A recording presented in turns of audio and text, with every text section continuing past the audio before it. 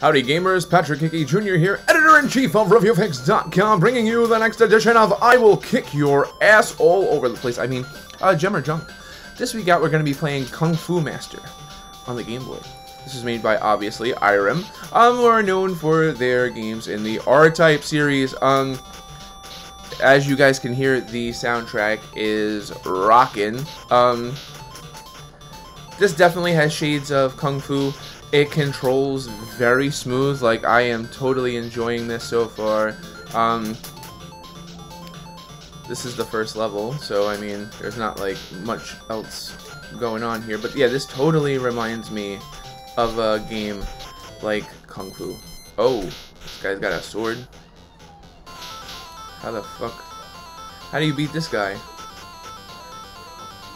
Do I have to, like, does he follow? Oh, man, he follows you, too. You gotta wait until he ups his sword, I guess.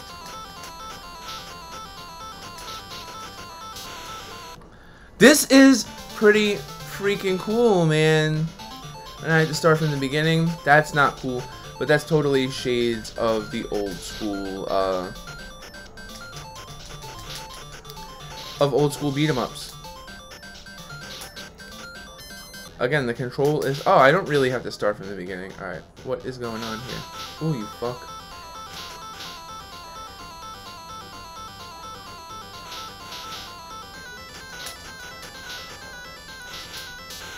Damn. Alright, so I suck in this game, but this is actually really fun. You should totally check it out. This is totally worthy of your time on the Game Boy. These three guys are kicking my ass. Okay, but yeah, you should totally check this out.